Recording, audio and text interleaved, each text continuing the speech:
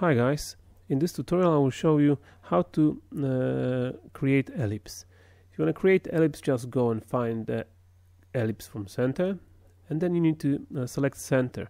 Center is any point on your 3D space but I prefer to do zero point which is uh, crossing x, y, z axis.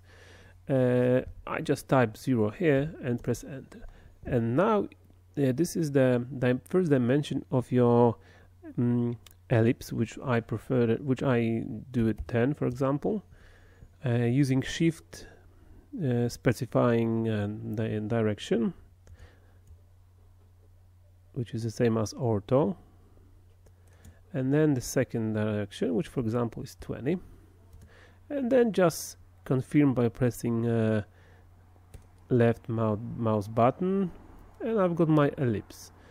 And the second one of uh, the second way is um, ellipse uh, just by diameter. So I'm choosing the first axis and then diameter is pretty the same but uh, depends what you want to do. Second one is by foci by uh, by focus uh, of uh, of the ellipse. So it's like that. I haven't been using it very often so this is quite uh, easy. And uh,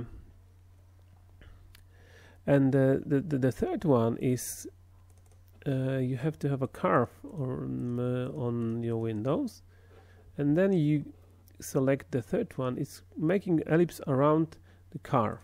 You have to select the curve first and then uh, the first dimension and the second dimension you can select in 3D uh, window in the perspective view or you can go straight to right mode or something.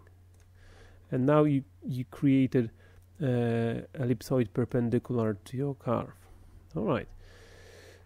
Uh, and um, there is another one ellipse by corners which is just a like a, in a square creating uh, ellipse in a square.